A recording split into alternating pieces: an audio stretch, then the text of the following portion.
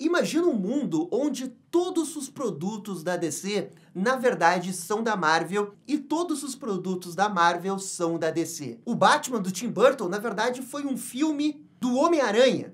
A animação do Homem-Aranha no Aranha-Verso na verdade era Flash na Speed Force, com ele conhecendo diversos flashes de outra realidade. Pois é, esse é um novo meme que o pessoal está reproduzindo nas redes sociais e ele tá completamente fora de controle. Porque ele começou com uma brincadeira relativamente simples, de fazer edições dos trajes do Flash, lá da série da CW, imaginando como se fosse uma série do Homem-Aranha da CW.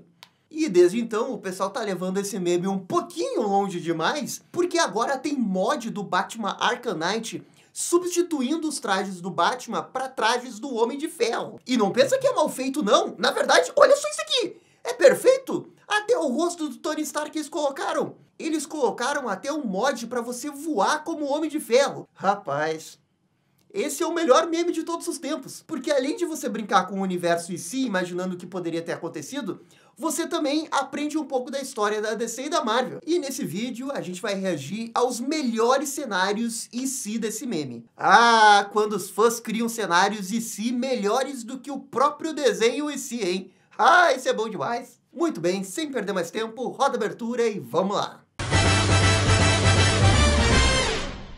E pessoal, vocês sabem, né? Aquele papinho antes de começar o vídeo, já vai deixando aquele aranha like, aranha comentário, já que é o universo em si, né? É o aranha comentário e o aranha like. Muito obrigado para todo mundo que faz isso e também considere de apoiar o canal lá no Padrim ou aqui na aba de membros do YouTube. Valeu, valeu mesmo! E eu também queria anunciar aqui no início desse vídeo que a gente vai fazer o vídeo ranqueando os trajes da CW. E aí, claro, o CW real, né? Flash, Arrow, Smallville. E em breve esse vídeo vai sair. Como tem muito traje, dá muito trabalho, até mesmo para preparar o tier list é difícil. Imagina depois para editar. Mas enfim, esse vídeo vai acontecer. Fiquem ligados. E bem, vamos começar falando da origem desse meme, que começou com essa conta aqui no Twitter e que fez essa edição do traje do Flash da primeira temporada lá da série da CW. E como vocês podem ver, é um edit até que bem feito, mas o que eu acho que fez esse meme acabar explodindo é que ele fez o traje realmente parecendo como se fosse um traje da CW. Porque não é, de fato, um traje maravilhoso do Homem-Aranha. Mas eu consigo ver totalmente o primeiro traje do Homem-Aranha da CW ser desse jeito. E o melhor de tudo foi o comentário dessa pessoa que fez a foto, dizendo né, que esse traje não era tão bom e que estava devendo em comparado com as outras temporadas. Meio que acabou sendo um comentário meta em cima do que, que as pessoas falam dos trajes do Flash da CW. Especialmente da primeira temporada, que o pessoal realmente fala isso. E bem, essa brincadeira acabou viralizando e outras pessoas começaram a fazer outras montagens em cima do Flash da CW. E eu até agradeço essa conta aqui, ó, Romeu do Multiverso, que separou algumas imagens do traje do Homem-Aranha da CW ao longo das temporadas. Esse aqui é o primeiro, da primeira temporada. Vocês veem que é o Grand Gustin. É uma edição relativamente simples e eu consigo totalmente ver esse o traje da primeira temporada do Flash da CW. Vamos pro segundo... o traje da segunda temporada realmente parece o traje da segunda temporada. Porque, se eu não me engano, o traje da segunda temporada do Flash era bem parecido com o primeiro, mas mudava o símbolo para ficar mais próximo das HQs. E tinha um outro detalhe ali no traje que era um pouquinho diferente, mas nada muito revolucionário. E aqui tá seguindo esse padrão. Mas assim, ó, claro que tem a jaquetinha da CW, né? Que você vê, né, aquela junção da CW que é típica da CW. Vamos pra terceira temporada. Aqui, ó. O traje da terceira temporada é muito CW. Você vê a parte de couro, você vê aquele zíper que tinha no meio, realmente tinha isso. Só que aqui eles estão melhorando a máscara, a lente já tá mais parecida. As cores já estão bem mais azul e vermelho, imitando mais próximo das HQs. Porque começa com aquele vermelho meio bordô, né? E pouco a pouco vai virando aquele vermelho escarlate. Vamos ver o da quarta temporada aqui, ó. Aqui aparece o traje do Miguel O'Hara. Aqui essa montagem é para ser o primeiro Aranha Verso que teve no Flash da CW. Abaixo se o tio Ben tivesse sido picado pelo aranha. Eu já consigo imaginar que esse tio Ben foi lá na Oscorp procurar o Peter Parker que estava desaparecido e ele se infiltrou nos laboratórios e acabou sendo picado por uma aranha radioativa. Essa é a origem do tio Ben desse universo alternativo. Na minha cabeça, isso aí ninguém muda. Agora, depois disso, começa aquela expansão lá da CW e outros heróis da Marvel começam a aparecer. E um desses grupos é o Quarteto Fantástico. Aqui, a Melissa Benoist está fazendo o Johnny e, rapaz, essa montagem ficou muito trash. E o uniforme do Homem-Aranha também, com aranha gigante ali. Também não. Esse, esse, Mas o outro. Ah, o outro ficou legal aqui, ó. Aquele uniforme do Homem-Aranha que ele usou quando entregou o simbionte lá pro Reed Richards e ele saiu com esse uniforme aí com a sacola na cabeça. E olha, até que ficou legalzinho, até que ficou legalzinho essa montagem. Isso é algo que totalmente a CW faria. Se eles tivessem os direitos do Homem-Aranha, eles teriam feito esse uniforme com toda a certeza do planeta Terra. Com toda a certeza. O próximo. Olha, esse uniforme já ficou bem legal. Acho que essa é uma montagem em cima do traje da primeira temporada, mas. Pô, ficou bonitaço, vermelhão ali, Grand Gustin. Pô, ficou, ficou de respeito esse uniforme. O próximo, olha aqui, ó, é o Miles Morales. E olha, até que essa montagem ficou boa aqui do Miles Morales, que no original era o Kid Flash. Essa aqui até que ficou bacana aqui, ó é o Flash da Liga da Justiça do filme, só que com o Homem-Aranha. E olha, até que ficou legal. Mas eu consigo ver que na internet dessa realidade alternativa, o pessoal tá louco, né? Dizendo que o Homem-Aranha jamais ia ter uma armadura como essa e que o traje do Homem-Aranha é tecido. E que hoje se viu o Homem-Aranha ter um traje meio Power Rangers, assim, de armadura. Ah, isso é um absurdo. Com certeza estão reclamando na Terra Alternativa. Um dos meus arcos favoritos foi quando adaptaram o Dr. Octopus e o arco do Homem-Aranha Superior um dos melhores arcos da série de super-herói. Olha, em que temporada será que eles iriam ter adaptado o Homem-Aranha Superior na CW? Sexta? Sétima temporada? Eu acho que iria entrar na sexta temporada, que é aquela temporada que tem o Godspeed, que é quando na série do Flash aparece o Godspeed e tem vários outros Godspeeds, né? Tem aquela guerra de Godspeed. Ah, meu Deus, CW. Peraí, mas a montagem do Dr. Octopus ficou maneiraça. Ficou maneira essa montagem. Olha, eu gostei, hein? Gostei. E o traje do Homem-Aranha Superior é, ok. Ficou, ficou CW, consigo ver a CW fazendo isso. E uma outra coisa que aconteceu nessa terra alternativa, onde as coisas da DC são da Marvel e vice-versa, é que essa série do Homem-Aranha fez tanto sucesso, mas tanto sucesso, que, claro, virou uma skin do Fortnite. E como vocês podem ver aqui, essa é a skin que apareceu no Fortnite deles. Mas eu confesso que a nossa skin do Flash Grand Gustin ficou melhor do que a deles. Mayday com poderes do Homem-Aranha. Já que a Marvel nunca faz uma história feliz do Homem-Aranha, né? Vamos ver agora o Ultimate Homem-Aranha, mas ela nunca faz, né? A CW talvez fosse fazer. Nem que seja uma filha do futuro que viaja pro passado para conhecer o Peter Parker, o pai dela. Mas pelo menos é alguma coisa, né? Pô, aqui ó, nossa, esse uniforme ficou legal, hein?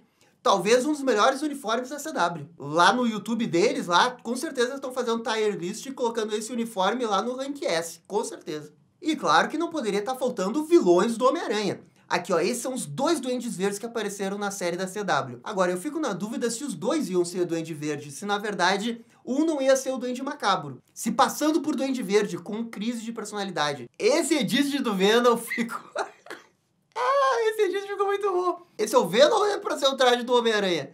É, é, o Venom. é o Venom. Venom Savitar! muito bom, muito bom. Venom Savitar é bom demais. E por fim, esse é o traje final do Homem-Aranha Grand Gustin. E, cara, é uma evolução, né? Nove anos desse primeiro traje até esse. Uma grande história. Finalmente, o, o traje definitivo do Homem-Aranha da CW. É, Encerrou bem, encerrou bem. Mas bem, até aqui vocês viram só memes em cima do Homem-Aranha da CW. O ponto todo é que esse meme acabou extrapolando a brincadeira só de uma série. E logo logo as pessoas começaram a ver todas essas séries da CW como séries da CW da Marvel. Como por exemplo aqui, ó, a série Westchester, que para quem não sabe é onde teve a gloriosa série da origem do Ciclope, com ele nos primeiros anos lá na Mansão Xavier. E lentamente a equipe dos X-Men sendo formada. Muitos fãs dizem que essa é a melhor versão de todos os tempos do Ciclope. E o pessoal também elogia bastante o triângulo amoroso que tem nessa série, que é o Scott, a Jean Grey e o Wolverine. A história começa relativamente simples, né? Com Scott indo na mansão Xavier, lentamente ganhando novos amigos. E no final, né, já tem toda uma equipe. E é no último episódio que ele finalmente coloca o traje clássico do Ciclope. Aquele azul com cinto amarelo, que é o que todo mundo gosta do Jim Lee dos anos 90. É uma pena que foi só no último frame e o pessoal acabou não valorizando tanto. Mas recentemente o pessoal tá redescobrindo a série graças aos streamings e vendo que Westchester é, na verdade, uma ótima série não só do Ciclope, mas também dos X-Men. Agora, sendo um pouco das séries e entrando no campo das animações, é impossível a gente esquecer da melhor animação do Flash, o espetacular Velocista, criada pelo Greg Weisman lá em 2008 e que infelizmente foi cancelada depois de duas temporadas, quando a Disney adquiriu a DC e decidiu fazer o seu próprio desenho do Flash, o Ultimate Flash. Os fãs estão até hoje esperando uma terceira temporada desse Flash, que é dito por muitos como a melhor interpretação do Flash de todos os tempos, fora dos quadrinhos. Pô, se traça demais. Recentemente, o pessoal também redescobriu uma grande animação do início dos anos 2000, que é Homem-Aranha 2099, O Retorno do Duende Verde. Essa animação passava de vez em quando na Fox Kids, naquele bloco chamado Cine Fox, e o pessoal gostava bastante naquela época, mas teve todo o aspecto da censura que acabou prejudicando um pouco a popularidade ao longo dos anos. Mas ali pelos anos 2010, o pessoal descobriu a versão sem censura e que melhora drasticamente o final da animação, que mostra o Duende Verde morrendo e de uma forma extremamente assustadora. E também é por causa dessa animação que todo mundo ama o Miguel O'Hara como Homem-Aranha. Uma outra coisa que fez muito sucesso nos anos 2001, 2002 foi o desenho dos Novos Vingadores, feito aqui com a arte do Homem-Aranha ADV e que é considerado até hoje o melhor desenho da Marvel de todos os tempos. Algumas pessoas ficam dizendo que eles focavam muito no Homem-Aranha, mas a verdade é que quando eles não focavam no Homem-Aranha e colocavam a dinâmica da equipe ali do Wolverine interagindo com o Homem de Ferro, era puro ouro e os episódios eram demais. Eles conseguiam driblar a censura e fazer histórias realmente maduras com esses heróis. Algo que nunca se conseguiu reproduzir em live action no universo compartilhado da Marvel, que só flopou desde aquele encontro lá do Capitão América versus Homem de Ferro. O Nascimento dos Vingadores. Ah, que filme ruim.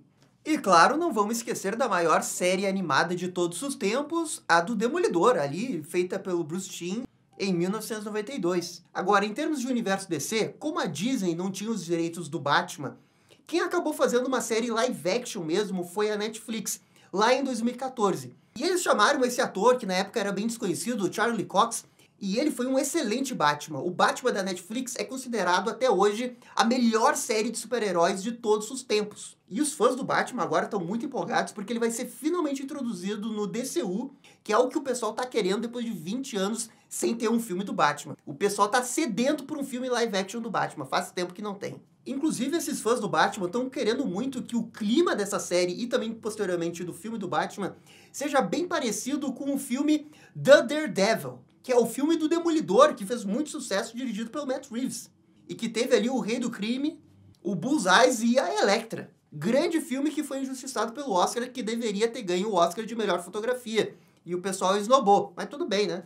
E por fim, claro que não posso esquecer de um dos principais jogos de todos os tempos para franquias de super-heróis, que é a trilogia do Demônio da Garrafa do Homem de Ferro, na qual o último jogo, Homem de Ferro Cavaleiro Demônio, fez muito sucesso e até hoje o pessoal tá jogando. Olha só esse gameplay, que coisa maravilhosa do Homem de Ferro voando ali na cidade de Nova York. E tem muitas pessoas até hoje procurando easter eggs nesse jogo aí para ver onde que possivelmente estavam né, o Capitão América ou até mesmo o Homem-Aranha. Existia uma expectativa da Rocksteady ter feito um jogo dos Vingadores, mas eles acabaram fazendo um jogo do Thunderbolts, que tá para sair esse ano, mas o hype tá um pouco baixo porque ninguém quer realmente o jogo dos Thunderbolts, e sim dos Vingadores. enfim, gente, aqui termina as grandes montagens envolvendo esses memes aí, DC é Marvel e Marvel é DC. Eu confesso que eu adorei esse meme, esse meme é bom demais, porque é uma forma bem legal de você revisitar a história das duas editoras trocando as coisas de lugar. Até valoriza um pouco mais a história que a gente tem nos dias de hoje, porque é muito divertido pensar nesses cenários. Por favor, galera, comentem aqui qual que é o seu projeto favorito ou inventem aí um projeto da DC que na verdade é da Marvel e vice-versa. Enfim, eu fico por aqui, muito obrigado e dá-lhe Marvel, quer dizer, DC. E esse foi o vídeo reagindo ao meme DC, Marvel e vice-versa. E aí, gostaram, não gostaram? Deixem suas opiniões nos comentários. E se curtiram o vídeo, deixa aquele joinha e inscreva-se no canal para ficar sabendo absolutamente tudo sobre Batman. Obrigado, gente, e até a próxima. Tchau, tchau.